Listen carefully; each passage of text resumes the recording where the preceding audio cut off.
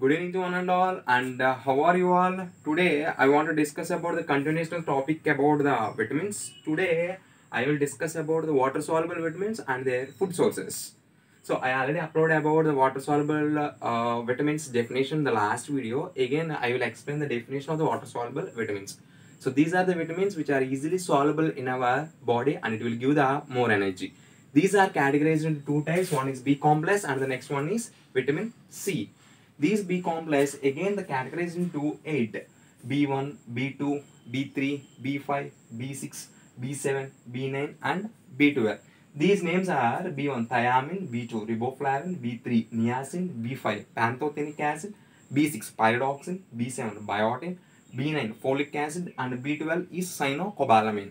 So if you see the food sources, if you are taking regularly in your diet the brown rice, millets, pulses and egg, milk, cheese, mutton, chicken along with the bananas. So if you are taking regularly in your food diet, you are easily get the B complexes uh, in our uh, body. So if you are not taking these food diets, we have to take the tablets orally. So better to take these uh, food items in your diet and we have to get the vitamin B complex in our body. So along with that like cereals also I have to take these also contain the vitamin B. The next one is uh, vitamin C. The another name is uh, ascorbic acid.